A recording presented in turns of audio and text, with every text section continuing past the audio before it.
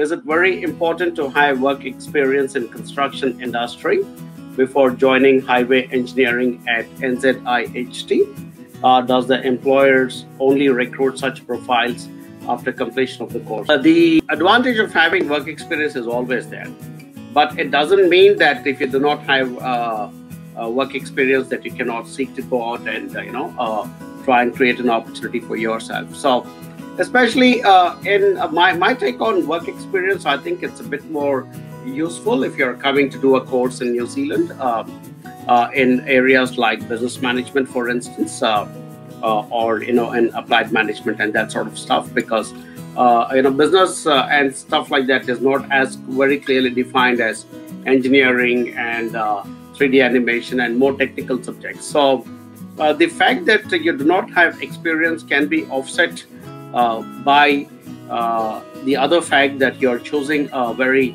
highly technical course and uh, you're also choosing a course that is in engineering, which is in the long-term skill shortage list of New Zealand, uh, which means that there are vacancies available for people.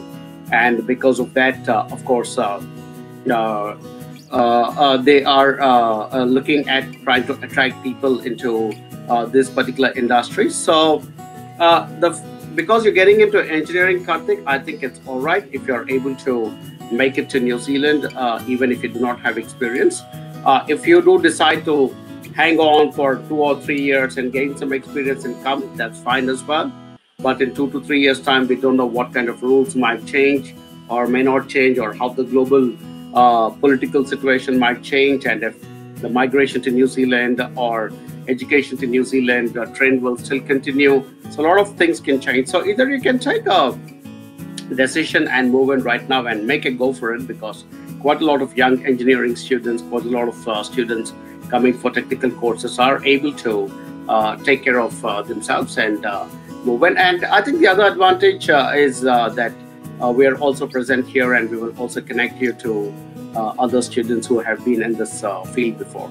And NZIHT is a good institution. It stands for the New Zealand Institute of Highway Technology. And uh, obviously, because the country is growing quite dramatically, there's a lot of requirement for uh, uh, uh, you know highways and infrastructure as well. So because of that, there could be a reasonable chance. So we are present. You know, we'll help you connect you to some of our other students, help you with your CV, cover letter, and those kinds of things. So it's worthwhile taking a chance. Uh, but please uh, bear in mind that uh, finally getting that job will depend on your communication skills. I think when you are in an interview situation, more than anything else, the employer is looking to see how well you communicate and how well you can uh, convince that person that you have the attitude, skills, and knowledge to be able to fulfill that job. So go for it with confidence if you have these attributes, especially if your communication skills are good.